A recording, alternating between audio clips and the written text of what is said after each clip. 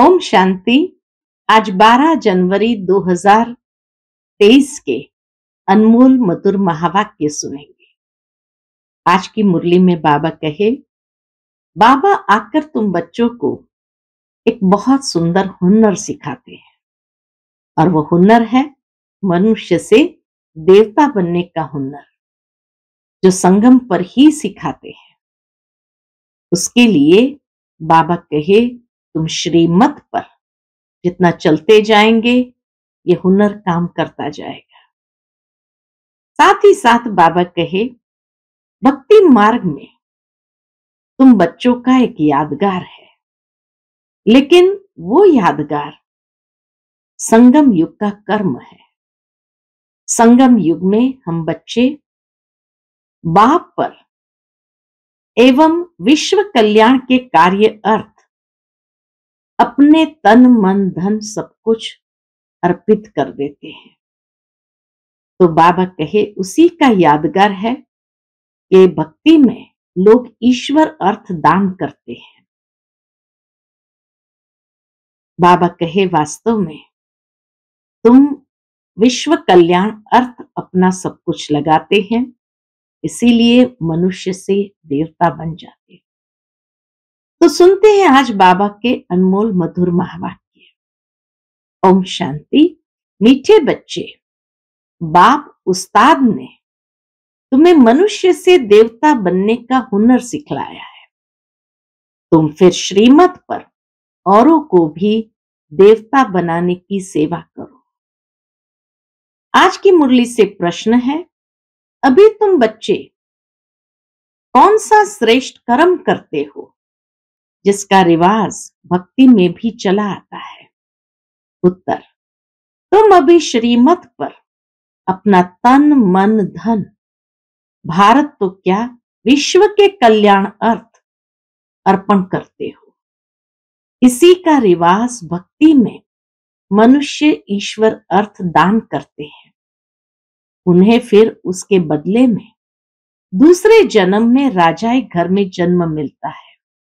और तुम बच्चे, संगम पर बाप के मददगार बनते हो तो मनुष्य से देवता बन जाते हो। आज की मुरली से पहले गीत बजा है, तूने रात गवाई सोकर, दिवस गवाया खाकर। ओम शांति।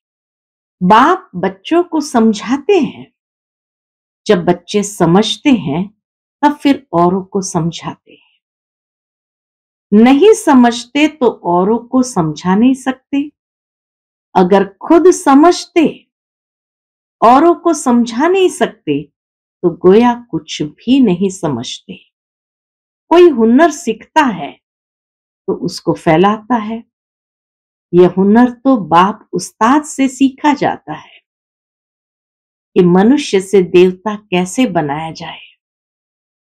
देवताएँ जिनके चित्र भी है मनुष्य को देवता बनाते हैं तो गोया वह देवता अभी नहीं है। देवताओं के गुण गाए जाते हैं। क्या गुण गाए जाते हैं? सर्वगुण संपन्न, सोले कला संपूर्ण संपूर्ण निर्विकारी। यहाँ कोई मनुष्य के तो ऐसे गुण नहीं गाए जाते। मनुष्य मंदिरों में जाकर देवताओं के गुण गाते हैं। भल पवित्र तो सन्यासी भी है, परंतु मनुष्य उन्हों के ऐसे गुण नहीं गाते। वह सन्यासी तो शास्त्र आदि भी सुनाते हैं। देवताओं ने तो कुछ नहीं सुनाया है, वह तो प्रालब्ध भोगते हैं। अगले जन्म में पुरुषार्थ कर मनुष्य से देवता बने थे। अभी कोई में भी देवताओं जैसे गुण नहीं है। जहाँ गुण नहीं, वहाँ ज़रूर अवगुण है। सतयुग में इसी भारत में यथा राजा रानी तथा प्रजा सर्वगुण संपन्न थे। उनमें सभी गुण थे। उन देवताओं के ही गुण गाए जाते हैं। उस समय और धर्म थे नहीं। गुण वाले देवताएँ थे सतयुग में और अवगुण वाले मनुष्य है कलयुग में। अब ऐसे अवगुण वाले मनुष्य को देवता कौन बनाए? गाया भी हुआ है, मनुष्य से देवता किए करत न लागी वार। ये महिमा तो है परम पिता परमात्मा की। है तो देवताएँ भी मनुष्य, परंतु उनमें गुण है। उनमें अवगुण है। गुण प्राप्त होते हैं बाप से, जिसको सतगुरु भी कहते हैं। अवगुण प्राप्त होते हैं इससे। माया रावण से। इतने गुणवान फिर अवगुणी कैसे बनते हैं? इतने गुणवान जो सत्युग त्रेता में फिर अवगुणी कैसे बनते हैं? सर्वगुण संपन्न और फिर सर्व अवगुण संपन्न कौन बनाते हैं? यह तुम बच्चे जानते हो। गाते भी है। मुझ निर्गुण हारे में कोई गुण नाही। देवताओं के कितने गुण गाते हैं। देवताओं के कितने गुण गाते हैं। इस समय तो वह गुण किसी में नहीं है। खान पान आदि कितना गंदा है। देवताएँ हैं वैष्णव संप्रदाय। और इस समय के मनुष्य है रावण संप्रदाय। खान पान कितना बदल गया है। सिर्फ़ ड्रेस को नहीं देखना है। देखा जाता है खान पान और विकारीपन को। बाप खुद कहते हैं, मुझे भारत में ही आना पड़ता है। ब्रह्मा मुख वंशावली ब्राह्मण ब्राह्मणियों द्वारा स्थापना कराता हूँ। यह ब्राह्मणों का यज्ञ है ना? वह विकारी ब्राह्मण मुख वंशावली, यह है मुख वंशावली। बहुत फ़र्क है।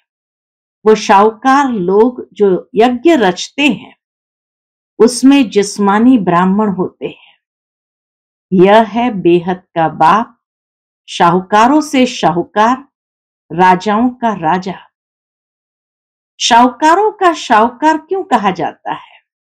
क्योंकि शाहूकार भी कहते हैं, हमको ईश्वर ने धन दिया है। ईश्वर अर्थ दान करते हैं। ईश्वर अर्थ दान करते हैं तो दूसरे जन्म में धनवान बनते हैं। इस समय तुम शिव बाबा को सब कुछ तन, मन, धन अर्पण करते हो। तो कितना ऊंच पद पाते हो। तुम श्रीमत पर इतने ऊंच कर्म सीखते हो।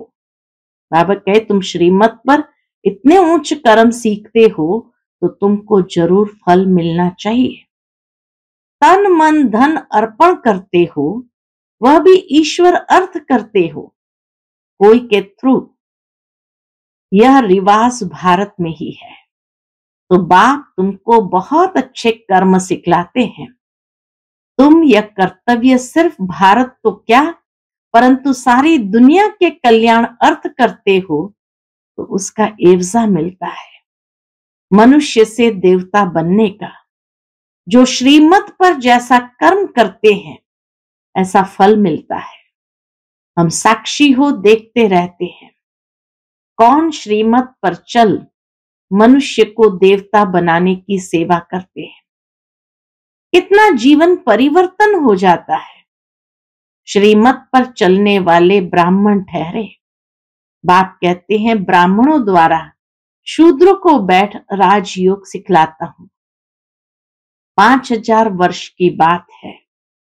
भारत में ही देवी देवताओं का राज्य था। चित्र दिखाने चाहिए।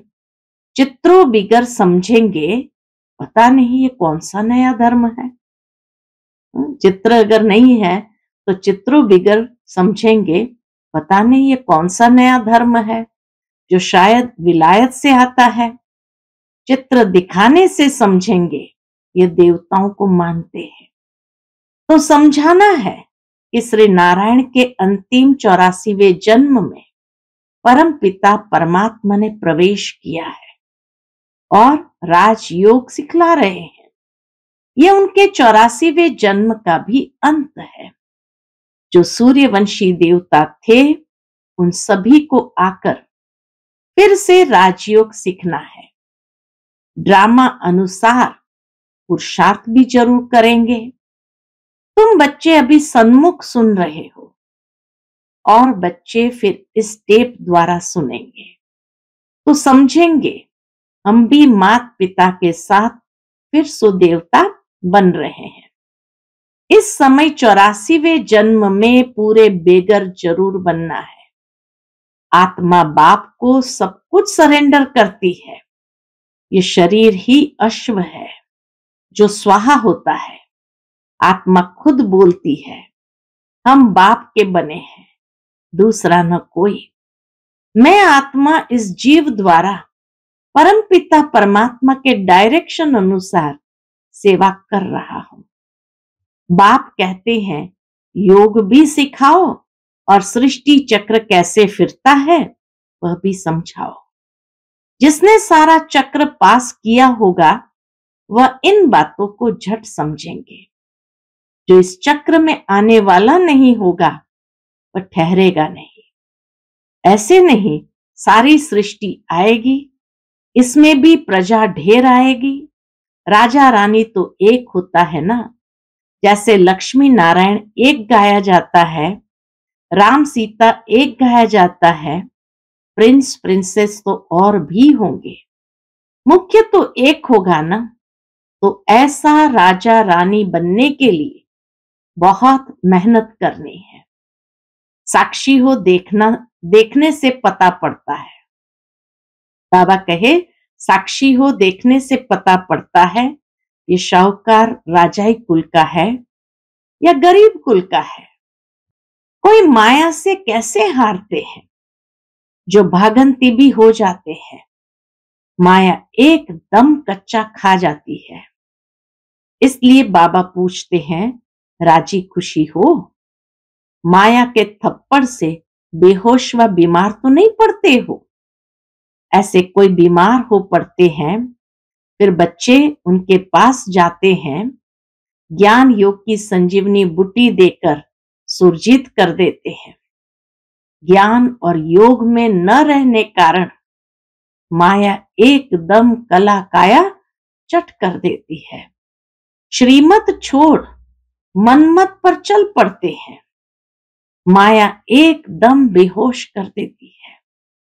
वास्तव में संजीवनी बुटी ये ज्ञान की है।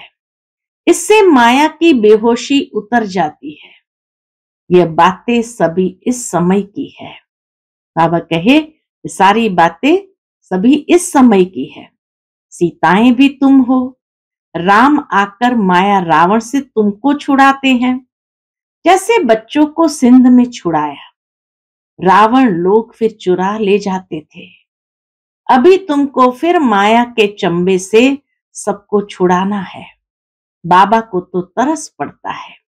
देखते हैं कैसे माया थप्पड़ लगाए बच्चों की बुद्धि ही एकदम फिरा देती है। राम से बुद्धि फेर रावण के तरफ़ कर देती है। जैसे एक खिलौना होता है एक तरफ़ राम एक तरफ़ रावण। इसको कहा जाता है आश्चर्यवत बाप का बनंती फिर रावण का बनंती। हम्म, वो खिलौना है एक तरफ़ राम एक तरफ़ रावण। और सीता जी जैसे घूमती है तो राम के तरफ़ ही अपना मुख करती है और पीठ रावण के तरफ़ करती है। तो बाबा कहे यहाँ माया ऐसी है जो थप्पड़ मारती है और एकदम मुँह ही फिरा देती है। आश्चर्यवत बाप का बनंती फिर राव, रावण का बनंती। माया बड़ी दुस्तर है। चूहे मुआफिक काट कर खाना खराब कर देती है। इसलिए श्रीमत कभी छोड़नी नहीं है। कठिन चढ़ाई है ना? अपनी मत माना रावण की मत। उस पर चले तो बहुत गुटका खाएँगे। बहुत बदनामी कराते हैं। ऐसे सभी सेंटर्स पर है। नुकसान फिर भी अपना करते हैं। सर्विस करने वाले रूप बसंत छिपे नहीं रहते। दैवी राजधानी स्थापन हो रही है। इसमें सभी अपना अपना पाठ ज़रूर बजाएँगे। दौड़ी लगाएँगे तो अपना कल्याण करेंगे। कल्याण भी एकदम स्वर्ग का मालिक। कल्याण भी कैसे होता है? एकदम स्वर्ग का मालिक बन जाते हैं। जैसे माँ बाप तख्त नशीन होते हैं तो बच्चों को भी होना है, बाप को फॉलो करना है, नहीं तो अपना पद कम कर देंगे। बाबा ने यह चित्र कोई रखने के लिए नहीं बनाए हैं। इनसे बहुत सर्विस करनी है। बड़े बड़े शाहूकार लोग लक्ष्मी नारायण का मंदिर बनवाते हैं। परंतु ये किसको भी पता नहीं है कि यह कब आए इन्होंने भारत को कैसे सुखी बनाया जो सभी उन्हों को याद करते हैं। तुम जानते हो कि मंदिर होना चाहिए एक दिल वाला बाप हम्म, एक दिल वाले का। यह एक ही काफ़ी है बस बाबा का मंदिर एक ही काफ़ी है। लक्ष्मी नारायण के मंदिर से भी क्या होगा? वह कोई कल्याणकारी नहीं है। शिव का मंदिर बनाते हैं, वह भी अर्थ रहित उनका ऑक्यूपेशन तो जानते ही नहीं। मंदिर बनावे ऑक्यूपेशन न जाने तो क्या कहेंगे? जब स्वर्ग में देवताएँ हैं तो मंदिर होते नहीं। जो मंदिर बनाते हैं उन्हों से पूछना चाहिए, लक्ष्मी नारायण कब आए थे? उन्होंने क्या सुख दिया था? कुछ समझा नहीं सकते। इससे सिद्ध है कि जिनमें अवगुण है, वह गुणवान के मंदिर बनाते हैं। तो बच्चों को बहुत सर्विस का शौक होना चाहिए। बाबा का सर्विस का बहुत शौक है। तब तो ऐसे ऐसे चित्र बनवाते हैं। बल चित्र शिव बाबा बनवाते हैं। परंतु बुद्धि दोनों की चलती है। ब्रह्मा बाबा, शिव बाबा दोनों की बुद्धि चलती है। अच्छा मीठे मीठे सिक्के लदे बच्चों प्रति मात पिता बाप, दादा का याद प्यार और गुड मॉर्निंग, रूहानी बाप की, रूहानी बच्चों को नमस्ते, हम रूहानी बच्चों की, रूहानी मात पिता बाप, दादा को याद प्यार, गुड मॉर्निंग और नमस्ते नमस्ते, शुक्रिया बाबा। शुक्रिया। रात्रि क्लास है बाबा का, और ये क्लास है 28 जून 1968 का। यहाँ सभी बैठे हैं, समझते हैं हम आत्माएँ हैं, बाप बैठा है। आत्म अभिमानी हो बैठना, इसको कहा जाता है। हम आत्माएँ हैं, बाप बैठा है, आत्म अभिमानी हो बैठना, इसको कहा जाता है। सभी ऐसे नहीं बैठे हैं कि हम आत्मा है, बाबा के सामने बैठे हैं। अब बाबा ने याद दिलाया है तो स्मृति आएगी अटेंशन देंगे। ऐसे बहुत है जिनकी बुद्धि बाहर भागती है। यहाँ बैठे भी जैसे कि कान बंद है।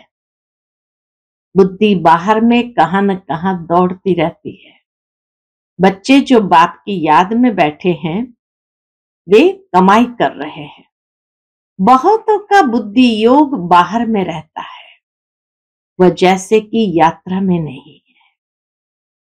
टाइम वेस्ट होता है। बाप को देखने से भी बाबा याद पड़ेगा। नंबरवार पुरुषार्थ अनुसार तो है ही। कोई कोई को पक्की आदत पड़ जाती है। हम आत्मा है, शरीर नहीं है। बाप नॉलेजफुल है तो बच्चों को भी नॉलेज आ जाती है। अभी वापस जाना है। चक्र पूरा होता है, अभी पुरुषार्थ करना है। बहुत गई थोड़ी रही, थोड़ी की भी थोड़ी बची। इम्तिहान के दिनों में फिर बहुत पुरुषार्थ करने लग पड़ेंगे। समझेंगे, अगर हम पुरुषार्थ नहीं करेंगे तो नापास हो जाएँगे।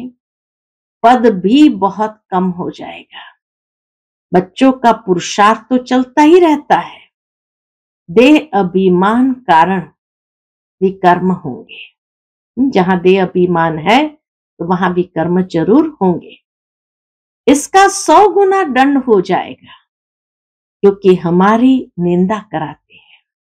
दे अभिमान में आकर बाबा की निंदा कराते हैं तो सौ गुना दंड हो पड़ेगा। ऐसा कर्म नहीं करना चाहिए जो बाप का नाम बदनाम हो। इसलिए गाते हैं, सतगुरु का निंदक ठौर न पावे। ठौर माना बादशाही नहीं पाते हैं। पढ़ाने वाला भी बाप है और कहाँ भी सत्संग में एम ऑब्जेक्ट नहीं है। यह है हमारा राजयोग। और कोई ऐसे मुख से कुछ कह न सके कि हम राजयोग सिखलाते हैं। वह तो समझते हैं, शांति में ही सुख है। वहाँ तो न दुख, न सुख की बात है। परमधाम में तो न दुख, न सुख की बात है। शांति ही शांति है। फिर समझा जाता है, इनकी तकदीर में कम है।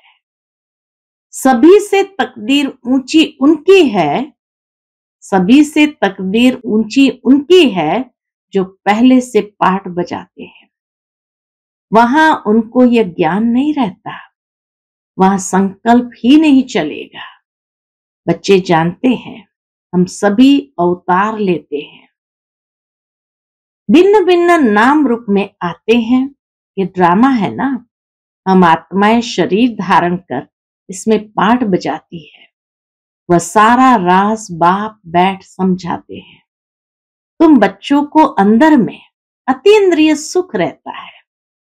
अंदर में खुशी रहती है। कहेंगे, ये देही अभिमानी है। बाप समझाते भी है, तुम स्टूडेंट हो, जानते हो, हम देवता स्वर्ग के मालिक बनने वाले हैं। सिर्फ़ देवता भी नहीं, हम विश्व के मालिक बनने वाले हैं।